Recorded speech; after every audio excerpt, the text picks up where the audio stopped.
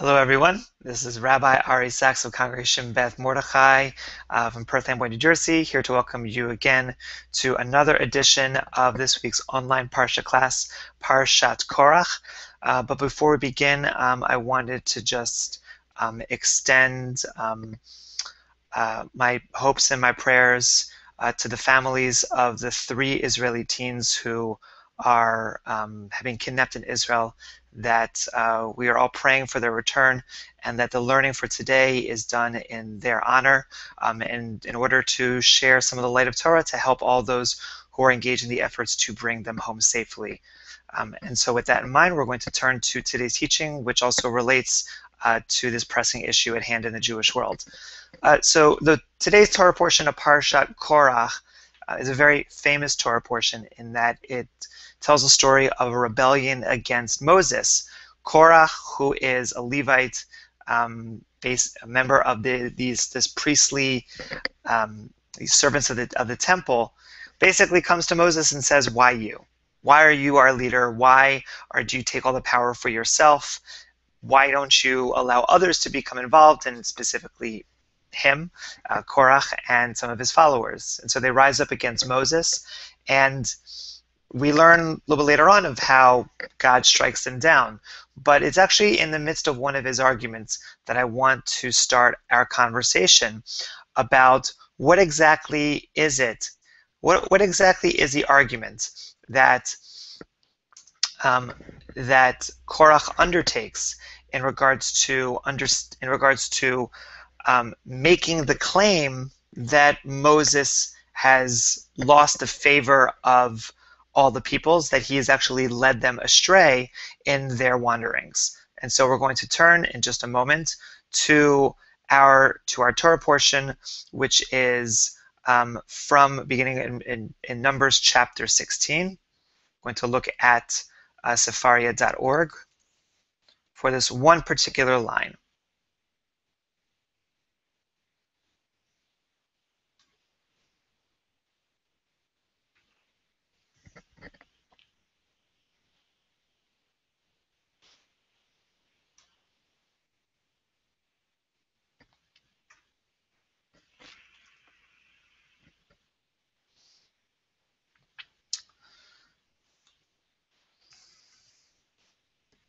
So prior to this, Korach has uh, sh has shared some of his uh, complaints against Moses in terms of uh, why are you greater than all the other Levites who also uh, seek um, coming close to God, and why should you necessarily be the leaders, and why is it you and Aaron have taken control?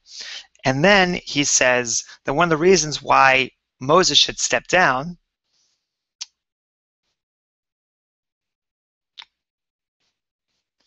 is from this verse 13. Hama'at ki he'elitanu me'eretz zavat chalav udvash, lahamitenu bamidbar, ki tistarer alenu gam histarer. Is it a small thing that you shall that you shall rise us up from a land flowing with milk and honey, so that we will die in the wilderness? That you shall that you shall rule over us and also that you shall be a prince over us. So there's two different elements of this particular verse. I'm only going to deal with one of them, but I'll just refer to the other first. Uh, that the other element is this repetition of the term tistarer, of that which he shall rule over them. And the rabbis love to focus on repetition of verses, and so some uh, refer to it as speaking about um, Moses and Aaron, that why is it that Moses is over us, and why is it also that Aaron is over us? Because it does seem that one of the complaints is not necessarily just against Moses, but also the fact that Moses has appointed his brother Aaron to rule over the people as well. So that um, the sense that it's not just of what Moses and Moses and Aaron did, but it's the fact that they continue to rule over the people. But what is it that Moses and Aaron did so egregiously? It's that line that that they brought up the Israelites me'eretz zavat chalav udavash from a land flowing with milk and honey. That that phrase eretz zavat chalav udavash should sound very familiar. It appears in our previous Torah portion in Parashat Shalach Lecha when the spies go out to, to spy on the land of Israel and they report back. One of their good the good parts of their reports is that it is a land flowing with milk and honey. And it seems that is both from that context and from other contexts as well, that we learn that Israel is considered to be, the land of Israel is considered to be so bountiful, so full of God's um, uh, of of God's gifts that it is considered to be a land flowing with milk and honey. And it is also out of that particular context that seems to lead to an assumption which I think uh, pervades the not only just the Jewish world now, but even in the Judeo-Christian uh, context, that Israel is the land of milk and honey. So as opposed to land of milk and honey being a description of a land, you know, it's the same thing as saying that it is a land with mountains that are so high. Well, there aren't there aren't just isn't just one country with mountains that are so high.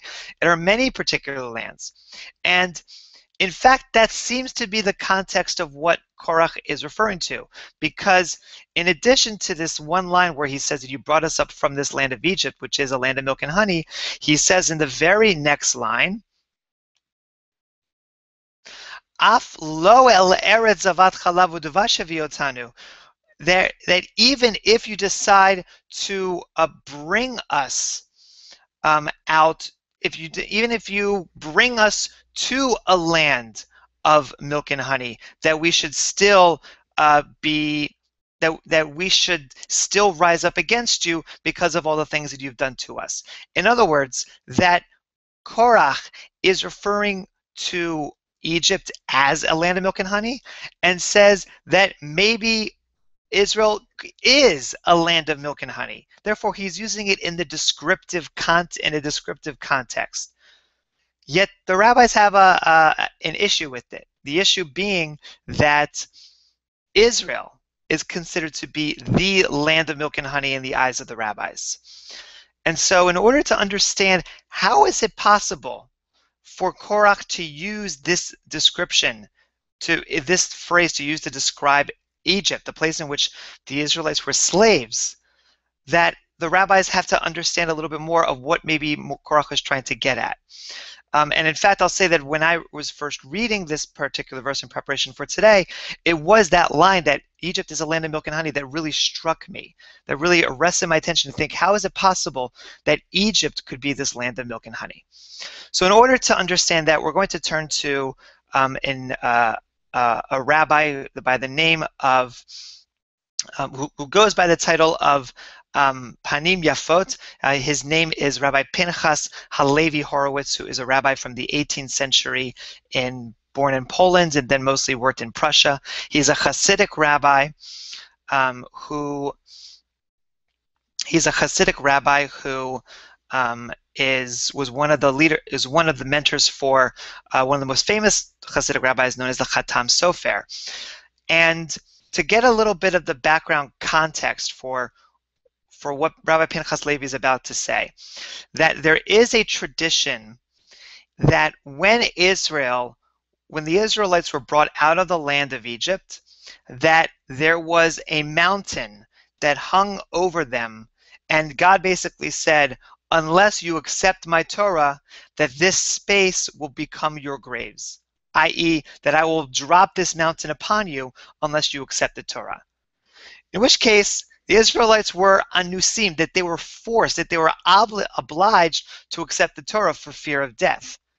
And the question that comes from this tradition is Did the Israelites truly receive the Torah out of their own free will, out of their own desire to accept it?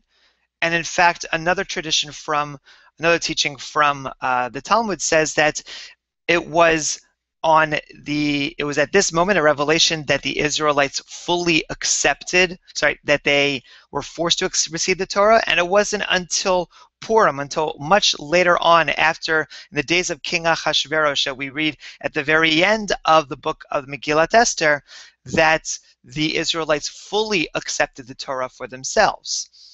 So that there is this period of time in which the Israelites were forced to receive the Torah.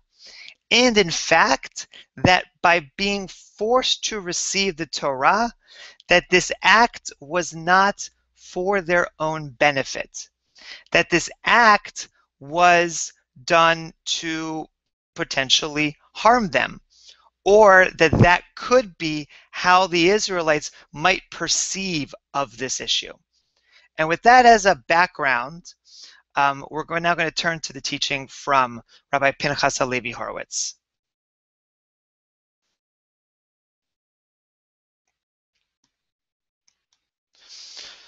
And it's the second comment here. Omnam hayoter nir'eh, de'ein shum savra lichfor batova. Indeed, it is more likely that there is no reason to deny the goodness of coming out of Egypt to receive the Torah. That the Panim Yafot is saying that, in fact, it is good that is that the that the that they were forced to be able to have to accept the Torah because as he mentions in a previous comment that it is the very fact that they were slaves in the land of Egypt that meant that even though they were forced to receive the Torah under the fear of this mountain dropping up on top of them, that it was better than their lives would have been in the land of Egypt. Therefore, because they were slaves, it doesn't seem to be a bad thing at all to be forced to accept the Torah. However,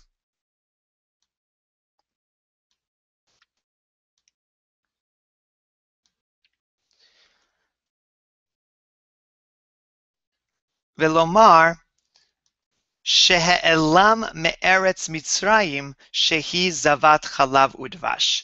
And the Panim Yafot is saying that there is no reason to accept this argument that it was bad that the that the that um, that the Israelites came out of Egypt. So they, they came out of Egypt and received the Torah and they were forced to do so. But in insofar as they did that, that this leaving of Egypt which should be seen in the light the fact that it was done out of out of slavery that what Korach is trying to do in his comment is to say that they were raised out of Egypt that it was a land flowing with milk and honey. Vehu sheker mefursam and that this is a great lie and so what he's basically saying here is that insofar as Korach wanted to use that tradition that they that the Israelites were being forced by this mountain to accept the Torah. He was making the argument that Israel that the Israelites were forced to leave a land that was already good. And therefore, there was no reason to come out into the desert and to be forced to accept this Torah when they were already having a good life. And so that's why he used this term Eretz Zavat Chalav Udvash to in another in order to be able to say that this a concept of accepting Torah is one that is going to be that is going to make our lives worse than the lives in which we led, led in Egypt, which was already a good life. And what the Panim Yafot is about to say is that it is not true that Israel, that Egypt is a land flowing with milk and honey, but rather that there is only one land flowing with milk and honey.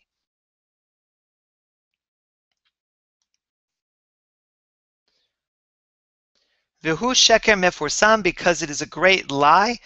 Ki ein zavat chalav udvash ella be'eretz Yisrael, because there is no land of milk and honey other than the land of Israel, meaning that Egypt was necessarily a bad place for the Israelites to be, and therefore, even being forced to receive the Torah was a good thing for them.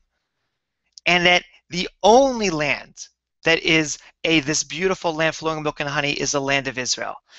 And how does he know this? V'chein perush Rashi b'perek Bereshit mem gimel yud aleph. And as Rashi teaches us in Genesis 30, 43, verse 11, ukechu mizimrata haaretz vegomer, and that they took from the praises of the land. Me'at sori, a little bit of balm, ume'at devash, and a little bit of honey. And that what this is referring to, shehi shevach eretz Israel, that this kind of uh, produce from the land of Israel, that it is, that these are the praises of the land of Israel. Now, what he what the Panim Yafot is, is using here is this teaching from Gen, from Rashi based upon this verse in Genesis about how produce coming from the land of Israel is considered to be the proof text that it is a land flowing of milk and honey. But in order to better understand Rashi, I actually do want to go into the context of uh, of this comment and go back to and go back to Genesis to understand further what the Panim Yafot is referring to in Rashi's comment. And so,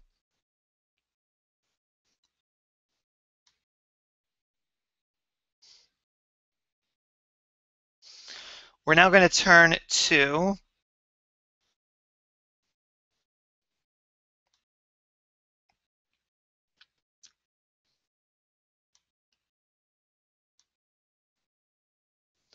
Genesis chapter 43.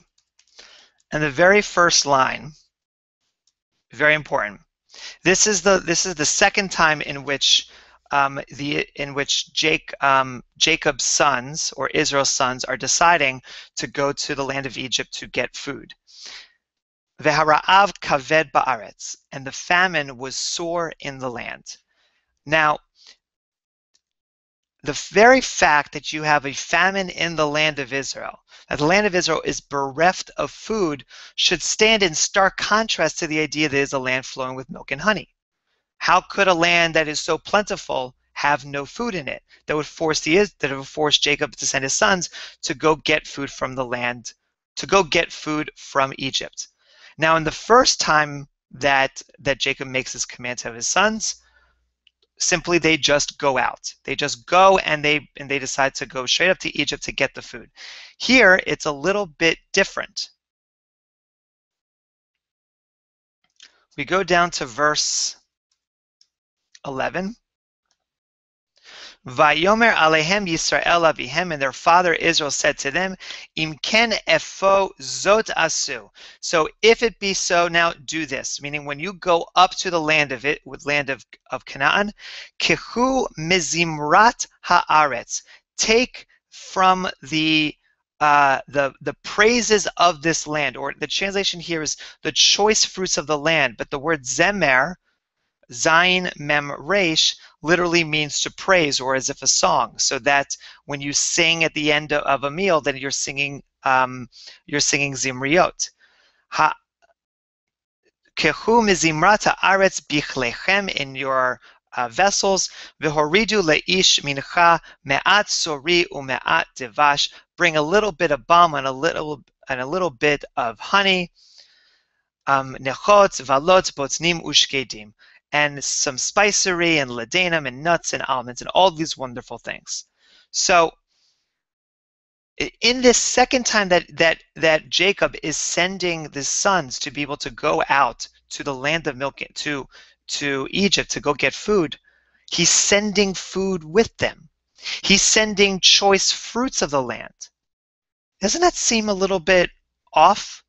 Doesn't it seem a little bit weird that in the land that is full of a famine, that you have these this um, these other fruits, these other foods that are already there and that are good enough to be used as gifts to the land in which you want to take food from them. There seems to be a bit of a disconnect. Why would you go and get food if you already seem to have some food? And that's where Rashi comes in to help us understand the purpose of this comment in regards to what the deal is with these fruits that the Israel that Jacob's sons are bringing up to are bringing up to um, to Egypt. Mizimrata aretz, from the praises of the land, or from the choices, choice fruits of the land. Miturgam, as it's as it's taught in the translation known as a turgam. Midimishevach be'ara, from the praised produce of the land, shehakol mezamrim alav, that all of these praised, this all this praised produce praises the land of Israel, kishehu ba olam, when it comes into the world. In other words, that the purpose of this phrase, the purpose of this teaching by Rashi, which I'll bring up here because I realized I just did not share that. That these mizimrata aretz, that these uh, praises of the land, that it is the praised produce of the land, that it is used in order to be able to say that this land is particularly beautiful. In other words, that the purpose of the produce of Israel is more than simply about having good food. It is more than simply about the fact that um, that the that there is um, that there is food available for the for Jacob and for his family to eat in case that they're hungry. In fact, there seems to be lacking a lot of the food that they would need. Rather, the purpose of mentioning all of these praiseworthy foods is because it is in the foods that exist on the land that speak to the specialness of the land.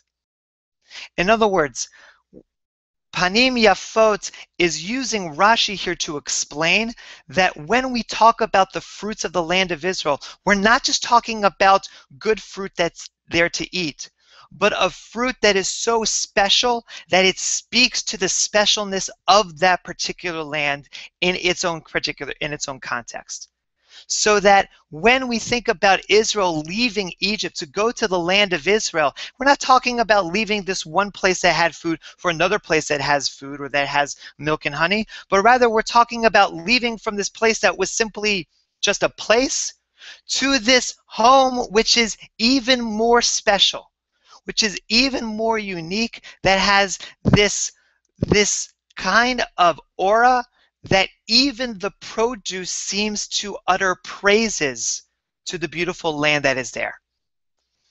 And I think that this is so important for us in thinking about how Israel relates to the Jewish world as a whole. Meaning that when it comes to all different kinds of events that happen in the land of Israel, all the different produce that's created by the land of Israel, that there is something special about Israel that seems to be a little bit different than all of the great produce that is that exists in the rest of the Jewish world or in the rest of the world in general. Meaning that if you do two of the same if you do two things, one in Israel and one in let's say in America, now I'm talking about in the Jewish world, one thing in the Jewish world in Israel, one thing in the Jewish world in Israel, one thing in the one thing in the Jewish world in Israel, one thing in the Jewish world, say in America, that there seems to be more attention given to what happens in Israel because there's something about being in the land of Israel that is so unique than any other potential land. And that goes also when it comes to any particular event that is troubling that happens in the land of Israel and speaking particularly about the three teens who have been kidnapped, that why is this event so much worse, so much uh, has led to so many rallies that happen throughout the Jewish world, whether in Israel, in America, in France, in, in Australia, as it's happened. What, what is so different about the fact that you have this event than other anti Semitic or any other um, horrible event that has happened to the Jewish people? And perhaps it is that when our attention is, when something happens in Israel, that there is this unique pull that we have. That, sorry, that there's this unique pull that Israel has upon us that it can't, we can't let go of. It doesn't mean that what happens in America, or what happens in other places in the world aren't important. And in fact, what I'm going to be talking about tonight in our um, uh, during services is a little bit about um, the differences now between Israel and America and how the pull may not be as strong as it used to be and the, and the consequences of that. Yet there still seems to be that sense of Eretz Avat Chalav Duvash El Rak Eretz Yisrael, that there's only in the land of Israel are the produce that much more praiseworthy. And as such, we turn our attention to Israel even more than maybe we would think that we normally would because that there is such that that there is such attention captured by this whether it's a mystical feeling whether it's um, just with the historical element of what Israel means to the Jewish people, that there is this pull that is different than any other land that Israel has upon us. And so, as we enter into the Shabbat of Korach, the Shabbat in which we hear about the rebellion, that we should not be going to the land of Israel because we're already fine where we are. To realize that the specialness of Israel, both in its good days and in its bad days, arrests our attention and makes us keep in mind the events that go on there, to know that those events are part of us, no matter where we are, no matter where we live. And such, I want to thank you for joining me for today's online Parsha class, and we'll see you again next week. Take care and all the best. Bye-bye.